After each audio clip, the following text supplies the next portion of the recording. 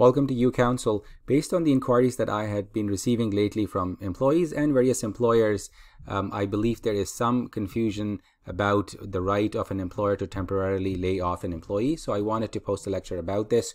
Although we had posted a lecture on this topic back in 2017, which is still available, but there is some additional information in this lecture. As usual, we begin with our disclaimer that this lecture is not legal advice. So if you have any specific questions regarding your issues, you should contact a lawyer or a paralegal or the Law Society of Ontario for a referral. In today's lecture, we'll explain the difference between layoff, which is termination, and temporary layoff. We'll talk about um, under what circumstances can an employer temporarily lay off someone's employment, and then what to do if someone is laid off temporarily and, and that temporary layoff is unlawful. And then what are the entitlements on a temporary layoff. Now, a lot of people, when they are terminated from their employment, they use this term uh, they say that I have been laid off. So technically, normal people say that, but legally speaking, that is not an appropriate term. When an employment has ended completely, that is termination or dismissal or severance of employment. But what is important to note is that in that case, the end of employment is permanent. You're not going back to that employer after a certain period if their business improves or coronavirus ends or whatever. This is a this is a final uh, and a complete uh, severance of ties with that employer. So that that is essentially termination, which is different than layoff, which is a temporary layoff thing.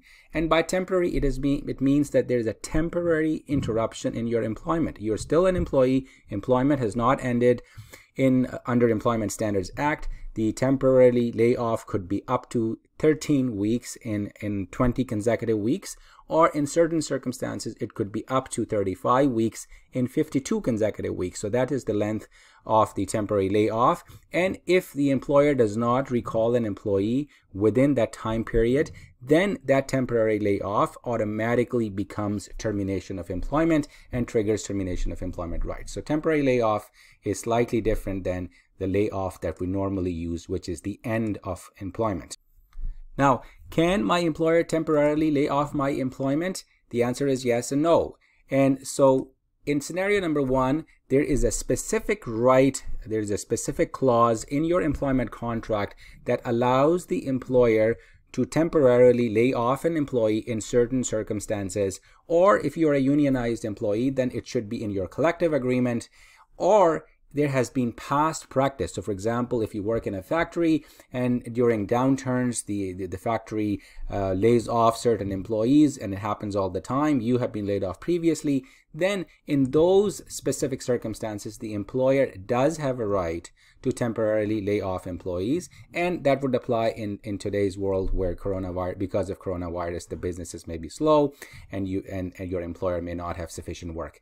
But if there is no specific right in the employment contract or on the basis of past practice, then the employer does not have an automatic right to temporarily lay off an employee. So if an employer does that, then essentially the argument from the employee side is that this is triggering the termination. So by sending me away, even though you are saying that we are temporarily laying you off, because the employer does not have that right, that can potentially trigger the termination rights for that employee. Okay, so then if you are temporarily laid off and it is unlawful because the employer does not have that right, then what do you do? You essentially have three options. Number one is that you accept the temporary layoff, right? And so you do nothing. Uh, by doing nothing, you mean you do not dispute the employer, you do not challenge the employer's decision, and then you go and apply your EI or Canada Emergency Relief benefits and whatnot. And and but the problem with that is that then in that case, what you're risking is the change of term in your employment agreement. Essentially, by accepting that temporary layoff, if there is another scenario, different scenario, not necessarily a pandemic situation, but an employer's business may be uh, may be slow for some other reason, then the employer now potentially has a right to temporarily lay you off again because now by accepting a temporary layoff, it has become a past practice and then the employer can use that in a different scenario. Option number two is you dispute. You challenge the employer. You say, that you do not have the right to temporarily lay me off based on my employment contract. So then what do you do? Then essentially what you're saying is that by temporarily laying me off, you are terminating my employment. So therefore, give me my termination rights, whether it's termination pay, severance pay, and or reasonable notice. These are three different scenarios um, in combination or separate that you may be entitled to. And therefore, you know, you need to give me that money. Now, the difficulty was that is that if the employer disputes that, if the employer is not willing to make you payment uh, or for the severance because either the employer does not have sufficient money because of the economic situations, then you are in a potential legal fight. And if you know anything about courts these days, the courts are working sort of on a reduced scale because of the environment, because of the, the circumstances of coronavirus.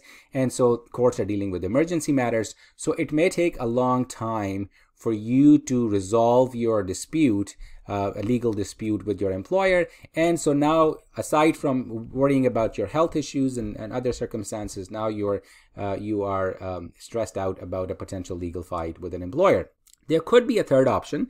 Not a lot of people have talked about it. I believe that this is possible, which is that you agree on a one time basis with your employer. So, this is a without prejudice basis. Essentially, the agreement between the two parties, employer and the employee, in writing is on a without prejudice basis that considering the circumstances, the health environment, the, the, the outbreak of coronavirus, we both are agreeing that there is no uh, change in the employment terms. This is one time exception uh, because of these dire circumstances of the situation. But the employment rights are not changing and therefore you are preserving your rights uh, that you are you are saying that the employer you the employer you do not have any future right whether it's uh, because of a pandemic or another issue but my employment contract is not changing. I'm retaining my right. I'm just making this one time exception. And i believe that if there is a written agreement between employer and employee that agreement will be honored by the courts. Let's talk about entitlements so essentially you have two kinds of entitlements. One is to apply for Canada Emergency Response Benefits and I have a separate lecture.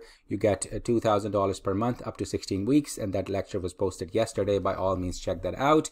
Um, but these but these are the benefits that you may get uh, with respect to the temporary layoff or or temp or permanent end of employment or uh, and or you apply the for employment insurance benefits which are regular benefits.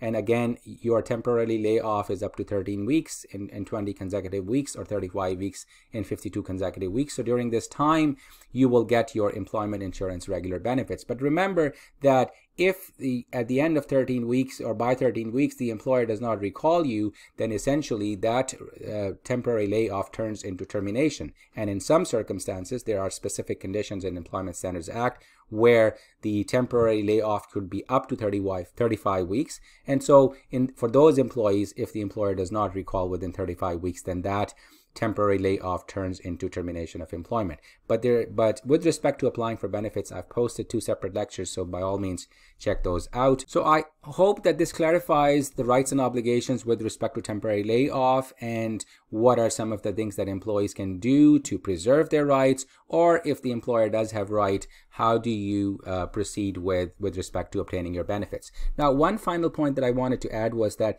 in in certain circumstances, even though the employer may not have a right to terminate, the government can enact a statute or enforce a statute such as Emergencies Act, which basically orders the employers to shut down their business. Now, that decision is really not, you know, made by the employer. It essentially is flowing from a, from the application of a specific legislation, and in that case, then even if there is no right in the specific contract, the employer, by virtue of that statute, may still be able to temporarily lay you off.